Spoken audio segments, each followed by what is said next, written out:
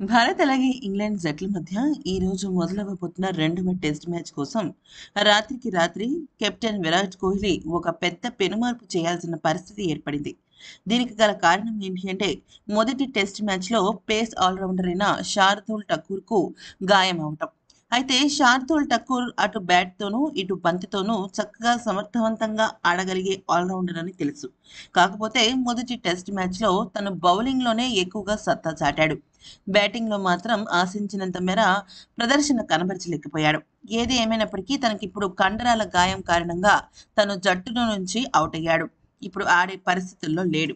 ఇక అతని స్థానంలో ఖచ్చితంగా ప్రాక్టీస్ సెషన్స్లోనూ అలాగే అనుభవంలోనూ ఎక్కువగా మార్కులు పడ్డ ఇషాంత్ శర్మ ఖాయం అనుకున్నారు కాకపోతే ఇషాంత్ శర్మ కూడా గాయమైనట్టు తెలుస్తోంది.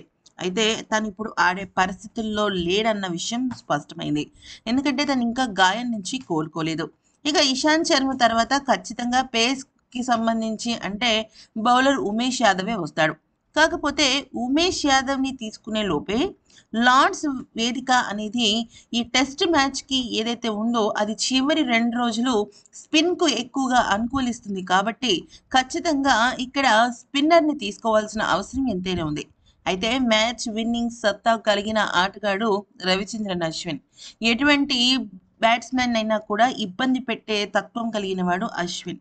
అయితే పిచ్తో సంబంధం లేకుండా అద్భుతంగా బౌలింగ్ చేయగలడు కాబట్టి ఇక దాదాపు జట్టులో శార్దుల్ ఠగూర్ స్థానంలో రవిచంద్రన్ అశ్విన్ ఎంట్రీ ఖాయం అనిపిస్తోంది పైగా లార్డ్స్లో ఎక్కువగా స్పిన్కు అనుకూలిస్తుంది. ఇంకా ఇంగ్లాండ్ జట్టు కూడా స్పిన్నర్ అయిన స్పిన్ ఆల్రౌండర్ అయిన మొయిన్ అలీని రంగంలోకి దింపుతుంది.